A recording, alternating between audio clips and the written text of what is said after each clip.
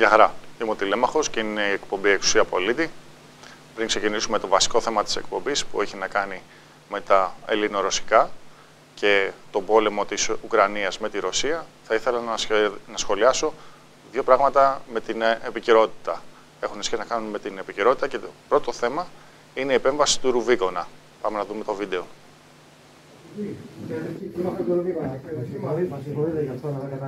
Ξέρετε ποιοι είμαστε, έτσι. Δεν σου φαντάζεσαι σίγουρα. Δεν ξέρεις. Οκ. Θα σου πω εγώ. Επειδή ξέρουμε από τους συναδέλφους σου, νοσηλευτές και ασθενείς, ότι παίρνεις 2.000 για να χειρουργείς σε δημόσιο νοσοκομείο. Το κακό συνήθειο θα το κόψετε. Το κατάλαβες τώρα εσύ; Όχι όταν πονάει ο κόσμος πριν μπει στο χειρουργείο τελευταία στιγμή. Εκμεταλλεύεσαι τη χειρότερη αδυναμία που μπορεί να έρθει άνθρωπος. Συναντηθήκαμε, έτσι; Όμορφα ήρθαμε σήμερα. Έτσι λοιπόν, έχουμε αυτούς τους ανθρώπους που όφυλαν να πάνε, γιατί η συνείδηση του Έλληνα, γενικά του πολίτη, ο οποίος θα σκεφτεί ότι ένας άνθρωπος πάει να μπει στο χειρουργείο και κάποιος τον εκβιάζει. Άρα η συνείδηση τι λέει, ότι πρέπει να πας να κάνεις αυτή την παρέμβαση. Είτε αυτή η παρέμβαση είναι ελεκτική, είτε είναι μια καταγγελία, είτε είναι άλλου τύπου. Όφυλα να πάνε και αυτή είναι η γνώμη μου. Επειδή λοιπόν μου ζητήθηκε, αυτή είναι η γνώμη μου. Ότι ο ευσυνείδητος πολίτης, όταν γνωρίζει ότι υπάρχει μια αδικία, επεμβαίνει.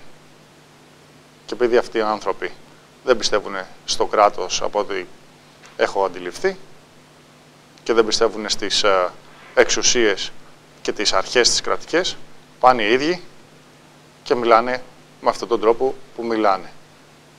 Φορέσαν τις μάσκες τους γιατί πήγανε μέσα στο νοσοκομείο και έτσι προβλέπετε, είπανε συγγνώμη, είπανε τώρα θα μιλήσω εγώ, τώρα θα μιλήσεις εσύ, δεν μιλήσανε σαν τους πολιτικούς που μιλάει ένας πάνω στον άλλο, πολύ πολιτισμένα πήγανε και πολύ πολιτισμένα τα είπανε. Αυτή είναι η γνώμη μου. Πάμε στο επόμενο θέμα με την Κίνα.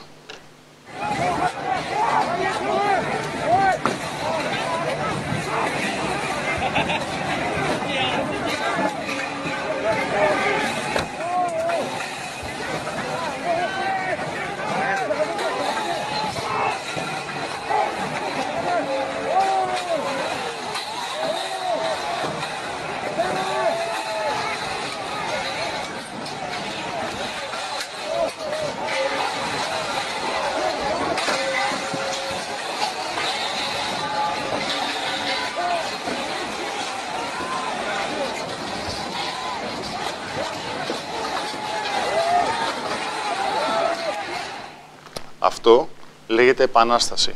Αυτό λέγεται αγανάκτηση του πολίτη. Τους είχαν σηκωτούς να τους βγάζουν από τα σπίτια, να τους πηγαίνουν σε νοσοκομεία σε άθλιες συνθήκες, μαζί με πόσους άλλους. Τους είχαν να βγαίνουν, να κλειδώνονται στα σπίτια και να βγαίνουν να ουρλιάζουν από τα μπαλκόνια. Τα ζώα τους, τα σκυλάκια, τα παίρνανε και τα βάζανε κλουβιά σαν να ήταν πατάτες σε ένα, σε ένα σακί, σε ένα τσουβάλι το ένα πάνω στο άλλο, αποπνικτικά.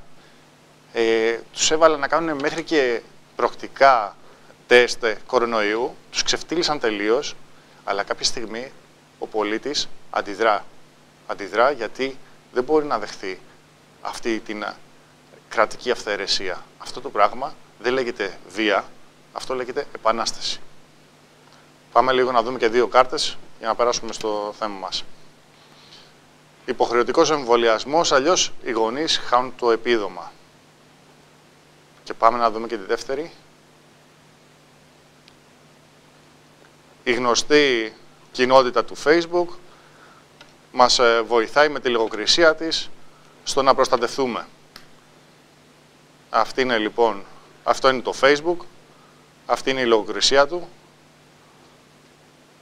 Αυτό πάντα ήταν το Facebook και αυτοί πάντα ήταν οι κυβερνώντες. Θα σε εκβιάσουν. Θέλεις ε, για το παιδί σου ένα επίδομα, κάτι το οποίο δικαιούσε, πρέπει να ε, τηρήσεις και όλη την υπόλοιπη ατζέντα που θα σου επιβάλλει. Αλλιώς το ξεχνάς. Σε εκβιάζει. Σε εκβιάζει βασισμένο στην ανάγκη σου. Αυτή ήταν η εισαγωγή μας και πάμε να ξεκινήσουμε.